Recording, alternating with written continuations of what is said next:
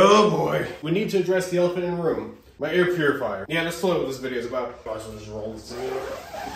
I'm only gonna tie one of these. I, I just don't care. I'm just gonna top. I don't care. That is my Nepenthes sanguinea. It is the tallest Nepenthes I have. It's the only Nepenthes I've ever had vine. As you can see, it's just too tall for this place. And I'm gonna be chopping it down today. This is gonna be really hard. It's the longest I've ever kept a Nepenthes vine. No, I don't like Nepenthes getting too tall, but this one just kept going, it kept vining. It gave me my first upper pitcher, and I just kept going up and up and up. I just don't know what to do with this plant. I don't have any lights hanging on top, and I'm just not really interested in this plant going crazy. Besides, it's got quite a few basals down there, and I thought, why not? Just chop it down. It's a lot harder than it sounds. So pretty much what I'm gonna do is I'm gonna chop down this vine, and I'm actually gonna make my own stem cuttings that I can use as sales plants. Okay, so, all right. God, this is gonna suck. Okay, so your first step on chopping down your Nepenthes is you start at the very bottom. This is really hard. I can't bring myself to do it. Come on. It happened. Oh God, okay. I don't know if I regret that decision or not. Damn, that's the longest I've ever kept a vine. Let me get rid of these zip ties.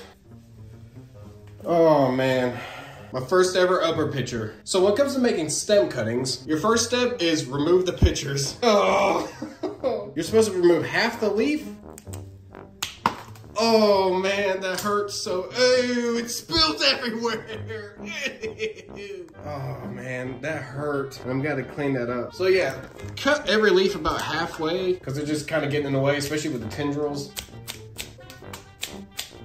So now that you cut pretty much most of your leaves, you want to start making your first cuts. Each leaf has some kind of node, and every node actually has a chance to strike, which means grow a new offshoot. The top piece is pretty much a guarantee. So I'm actually gonna cut it around here do that. And I'm actually gonna allow two nodes per cutting. And cut it at a slight angle, like this.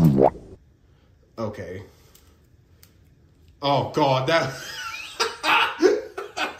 hey, I'm editing. Oh God, no, don't look at that. Okay, uh, don't look at that either. I didn't explain why you need to cut it at an angle, because the more surface area the cut has, the more roots that will grow out. It's a small difference, but it's a difference, damn it. Okay, that wasn't very clean. Let me try again. There we go, that's way better. And that's about all I'm gonna use. Typically the older part of the stems don't strike as much and this woody bit never strike. I still can't believe I did this. I can actually remove this stake now. And what am I gonna use this stake for? I have no idea. But I'll put it somewhere because I'll probably find some use for it later. It has three strong basals right now. And because the plant has such good roots now, these basals are gonna explode. I am actually quite excited for that. I'm gonna grab some paper towels real quick and I'm gonna clean up this floor. Floor is just covered in Nepenthes goop right now. Too lazy to go upstairs for the paper towel, so I'm just gonna use toilet paper. Come on, Aldi brand toilet paper. This stuff feels like you're wiping your ass with wallpaper, but it sure as hell grips. So we're gonna start with the smallest one here, which is actually the top one. So you're gonna get your pot, your appropriate Nepenthes soil mix, which I just use sphagnum moss and perlite. Nothing crazy, nothing special. So we have our first cutting right here. Sphagnum moss looks so good when it's fresh. Just kind of stick them in there like that. This is actually quite large. This is probably one of the older ones. So I'm gonna put that one in a larger pot. Stick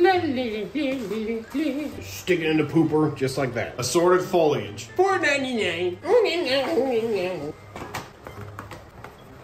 You might need to pack these a little bit harder just to keep them stable, but don't pack them too hard because Nepenthes roots are quite fragile. Well, I mean, these don't have roots yet, but whenever they do, they're gonna be very, very fine and brittle. Now give them a good spritz. Like churning butter. What are you doing? There we go. Okay.